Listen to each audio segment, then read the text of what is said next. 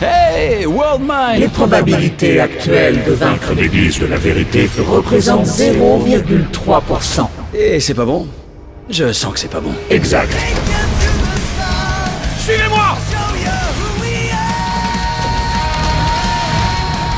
Vous vous êtes montré indigne Et vous devez être détruit